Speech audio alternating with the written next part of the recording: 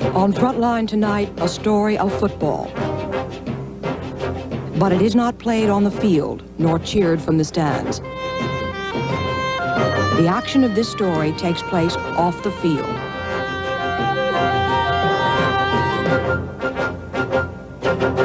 It's a story about bookies. It's a story about the outlaw line, football, illegal gambling, and the mafia.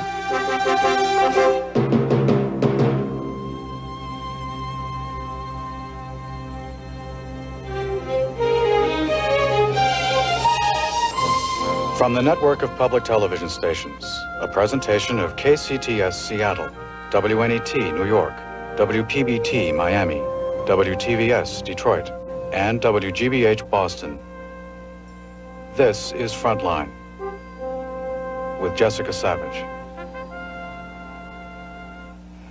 As long as there have been professional sports, there's been gambling. When you are talking about pro football gambling, you're talking about organized crime's major source of income, billions, which law enforcement agencies tell us are then used to fund other mob ventures, drugs and prostitution and racketeering. The NFL's only protection against mob influence is a rule prohibiting league members from associating with known gamblers or underworld figures. It is a rule enforced by an internal security department which reports to a commissioner hired by team owners. Is this enough to ensure fans a clean game? Ask yourself that question while you watch tonight's Frontline premiere broadcast. And one word of caution, there is one graphic sequence.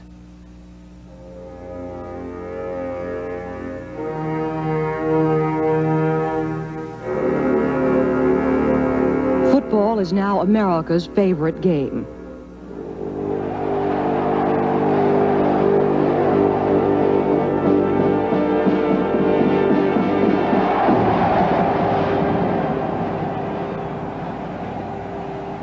Generates more illegal betting than all other sports combined. Every time a game is televised, the volume of betting goes up 600 percent.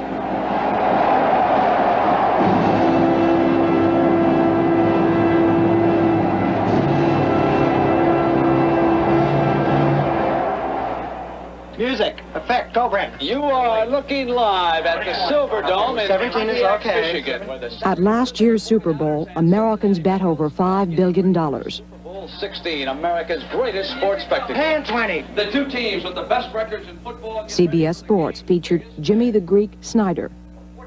He was once convicted of illegal bookmaking, but this popular television tipster was granted a presidential pardon. I have some inside information that nowhere else you'll find, and a choice that may just boggle your mind. Take 14, Matt. Super Bowl 16. Put on a pair of shoulder pads and get back into this thing. 22, take two. In today's America, football betting recalls the days of prohibition. An illegal activity is widely tolerated by the public and even encouraged by some of the nation's more respectable institutions. He's thinking about it. Anderson is going to get in. We talked about this earlier. When he jogs, his radio goes with him. This is Lem Banker. He makes his living from football betting. The latest scores are ticker taped into his kitchen. And a satellite dish keeps Lem Banker tuned into games being played in the 49 other states where football gambling is illegal. The gilded jacuzzi and the waterproof radio are prized possessions he paid for with football winnings because football betting is legal in Las Vegas.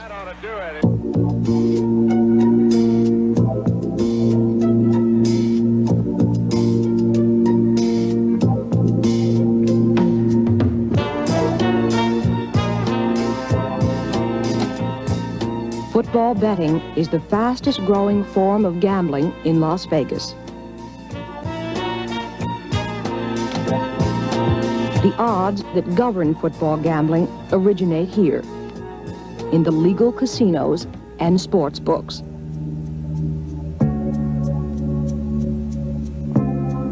Here, the ordinary public rub shoulders with the serious bettors, the agents, the runners, the beards, the wise guys.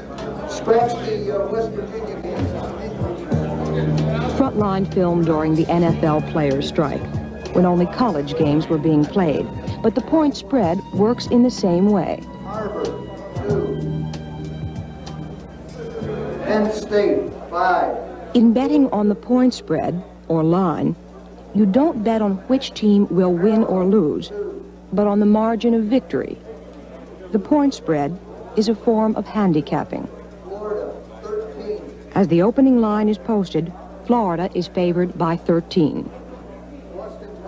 Florida may win, but if it's by anything less than 13, those who bet on Florida will lose their money.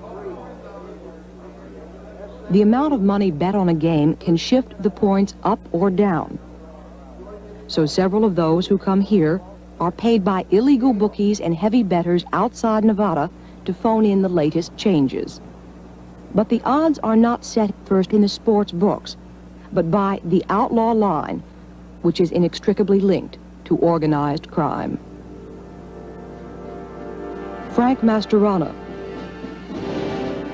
a convicted bookie, he's about as close to the outlaw line as you can get. Every Sunday afternoon, before the weekend's games are over, Frank Mastorana drives to his office. The scrap of paper on his dashboard is the outlaw line. In the next seven days, a billion dollars worth of bets, legal and illegal, will ride on these numbers. Frank Mastorana likes to claim that he sets the outlaw line.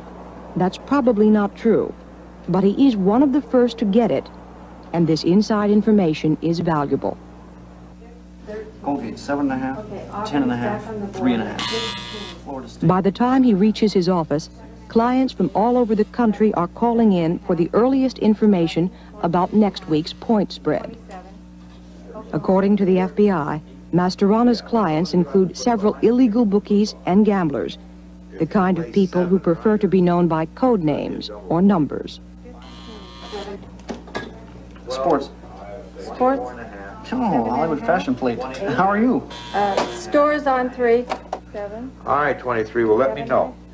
twenty-five. Bookies everywhere base their porn spreads on the outlaw line. That also includes Mastorana's legitimate clients. Twenty-four and a half. The people that subscribe to my service and talk to me are the cream of the crop in the Las Vegas area. They're the uh, managers of the legal books in town. Uh, they call me, get my opinion on the line, and then they use my line and incorporate it into theirs. Tony the Ant Spilotro. The FBI calls him an enforcer for the Chicago family. He oversees those who set the outlaw line. This is Jimmy the Weasel Fratianno, bookie, hitman, and the most senior mafioso ever to talk. Partially disguised, he agreed to be filmed for a fee. Tony Spilotro's with the Chicago family. He probably, he's there to oversee things in Las Vegas for the Chicago family. And since he's been there, he's got all the bookmakers, all the gamblers, and he's controlled practically everything. Historically, organized crime figures have plagued Las Vegas casinos with their hidden influence. As more and more casinos open sports books, that influence will surely grow. The biggest legal sports book in the world is at the Stardust. According to FBI affidavits, the Stardust has been secretly controlled by the Mafia's Chicago family. They ran a multi-million dollar skimming operation. They installed their own front man, Allen Glick. Glick is gone, but the skim continues. Barely a year ago, the FBI took photographs as the Stardust skim money was handed over in a parking lot. FBI sources say that Al Sachs, the present owner of the Stardust, is still beholden to the Chicago family. So the place now is uh, still under the Chicago family. They just put different people in there to operate it. Now it's Al Sachs. He belongs to the Chicago family. He didn't belong to it, but he is he is dominated by the Chicago family. Al Sachs Casino takes more football action than any other sports book in Las Vegas. So even in Las Vegas, where football gambling is legal, the point spread is subject to the influence, direct and indirect, of organized crime. Every Sunday, the new point spread is broadcast on the Stardust's own radio show. Good evening, ladies and gentlemen. This is Lee Pete along with Jim Brown from the beautiful Stardust Hotel. We will at- attempt to amuse you for the next two hours, and in that amusement, we're going to give you some totals for next week's football games plus the line. The point spread that is put out legally in Las Vegas is picked up and published by newspapers everywhere, even newspapers like the Los Angeles Times and the Washington Post. Such information supports the multi-billion dollar illegal gambling industry outside Las Vegas.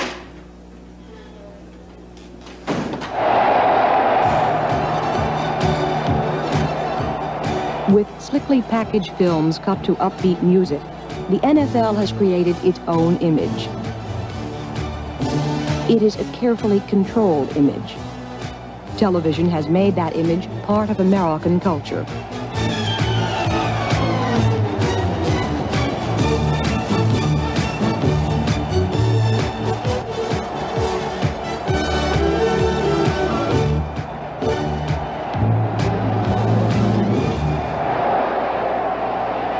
But the NFL can do little to control the illegal football betting industry that constitutes a permanent threat to its image and its integrity.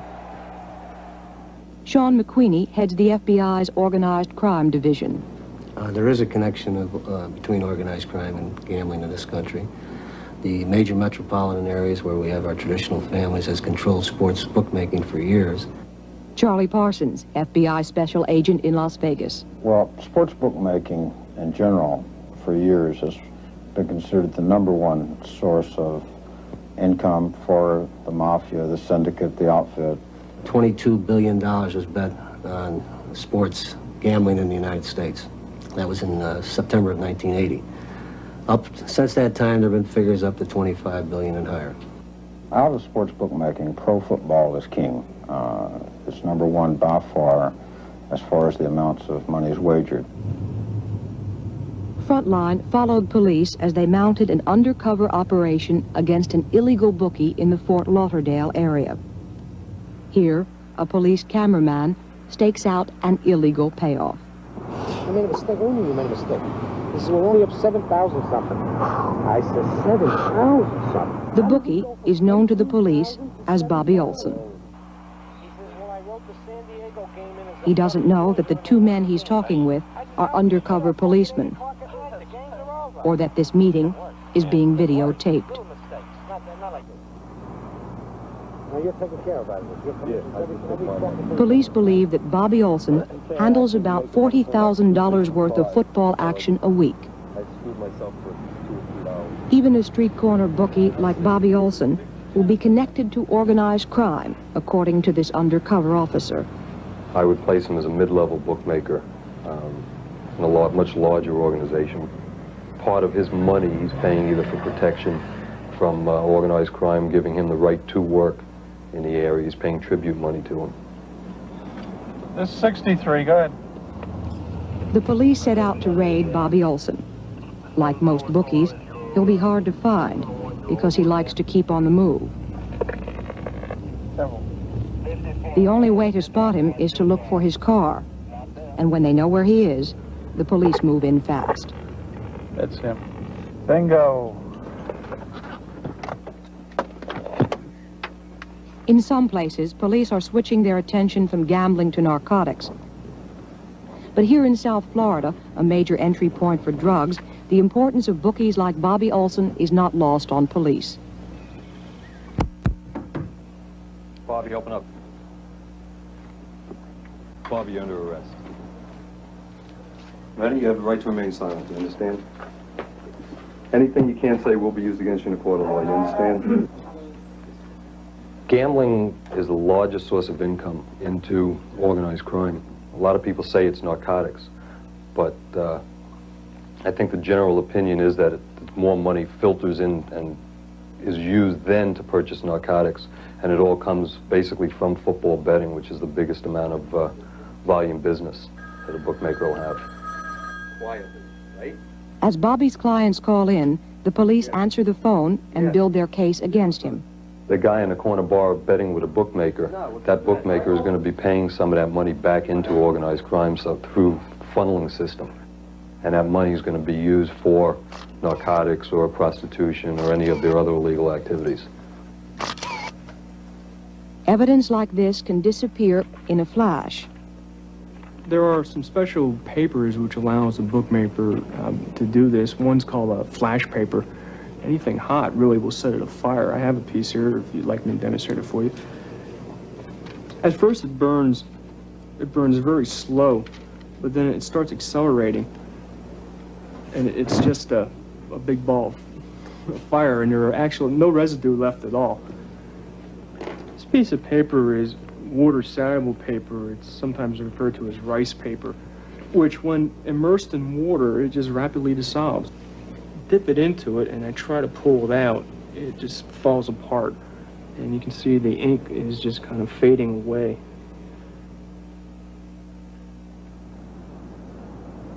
No one keeps records when it comes to illegal football gambling.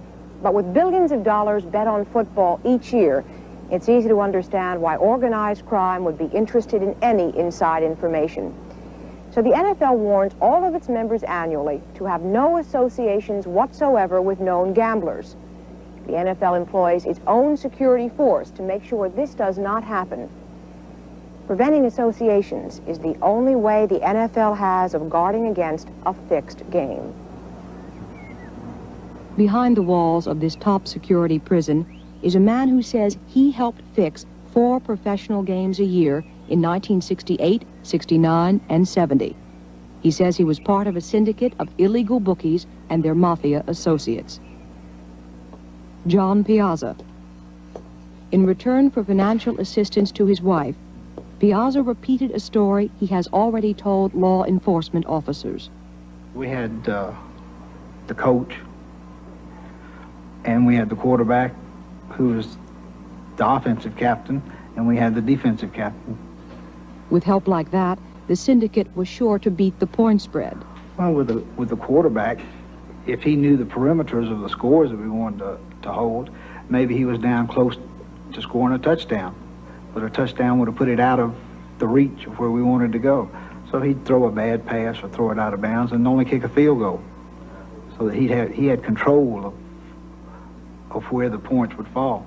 With the defensive back, if we got out of if it got out of control and maybe somebody intercepted a pass and ran it back or something that the offense has no control over, then the defensive back could slip or let somebody beat him on coverage or something, you know, enough to control where the points would fall. The coach was almost as important as the players. Well, the coach, if you got a quarterback that's supposed to be a, a very, very good quarterback who has an extremely high percentage of completions, and then all of a sudden today he's uh, throwing them in the ground and throwing them in the seats and throwing them at a lot of different places. You don't want the crowd to start yelling at the coach and the coach to pull the player out when, when we need him to protect, to protect our investment. The purpose of this test is to determine your knowledge of and participation in payoffs for controlling the spread of points during a given professional football game. Have you voluntarily agreed to take this test? Yes. Frontline gave Piazza a lie detector test. These tests are not infallible, but this one found that he was telling the truth. He gave names, games, dates, and the actual amounts of money that changed hands. The players that were involved, they were like a, a consortium. Okay, we would guarantee them three hundred thousand dollars. If there was three in individuals, that would be thirty and a hundred thousand dollars apiece. Plus, we'd give them ten to fifteen percent of what we took in. So if we took in uh, $3 million, that means that they were going to get an extra 300000 It could mount up to, uh, Pacific Instance, $800,000 was the total payoff. Piazza remembers that instance well because he says he carried the cash to the players. The intermediary arrived in a car with uh, two football players that were on the team. The only way that I would give the money to the intermediary was to recognize the people in the car that were the football players and for him to get in the car with them so them and the money left together. Otherwise, they might have been able to say that we didn't meet our commitment or we didn't fulfill our end of the bargain or, you know, whatever. But I wanted to make sure that the money and them were in the same car. The instance that I was involved in was not the last time that we did this. And I'm sure that if they hadn't been paid for their previous activities, that they wouldn't have continued on. There's not a lot of group fellowship in this business. Piazza's story serves to underscore the importance of the NFL's own rules on gambling. In addition to warning against accepting bribes or fixing games, the rules warn against, quote, any associating with gambling or with gambling activities. They are signed by Commissioner Pete Rozelle, the man whose job it is to make sure these rules are followed by every member of the league. Does the rule about associating with gamblers cover players and owners, managers, team members as well? Uh, it would include everyone in the NFL, but of course you have to define the term gamblers. By gamblers, I assume you're talking about illegal gambling. I'm talking about illegal gambling as yes, well. continued associations after they know who the individuals are. Why is that so important, Mr. Commissioner? Oh, it goes to the integrity of the game. Our biggest problem is suspicion. Suspicion first clouded the NFL during the 1946 championship game. Polo Grounds, Pro Championship game under a cloud. The Chicago Bears take the field against the grim New York Giants. Gamblers trying to make bribes involve two giant players, including halfback Filchock. The players had failed to report the bribes offered them.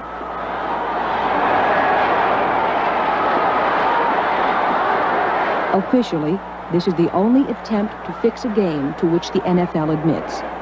The Bears are champs, 24 to 14, and the good name of football is still intact.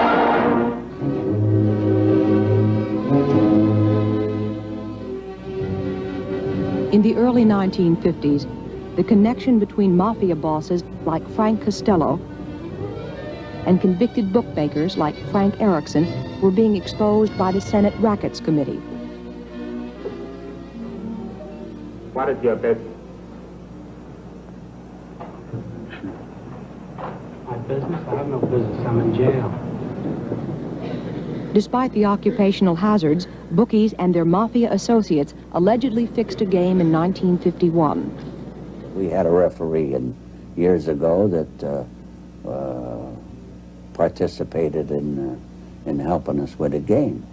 There's a lot of ways, you know, that uh, there's a penalty, called a penalty, an offside penalty. Uh, in them days, they didn't have this, uh, this television replay. You know, they could get away with a lot of stuff. Rozelle's first scandal came when Alex Karras admitted betting. Now Rozelle, who'd been warned about Karras, had to suspend him. Of course, you make a mistake and you have a set. Another player, Paul Hornung, made the same mistake and was suspended too. But Rozelle did nothing when Hornung was later seen with an illegal bookie. In 1970, news broke that a grand jury was interested in four quarterbacks, two college coaches, and a bookie. A federal grand jury will begin hearing testimony in two weeks, January 20th, about the operations of perhaps the largest betting gambling operation in sports history. The key man in the entire investigation is Don Dawson. It would appear he knows everybody who is anybody in sports. As a college coach 10 years ago, Frank Kush often phoned gambler Don Dawson.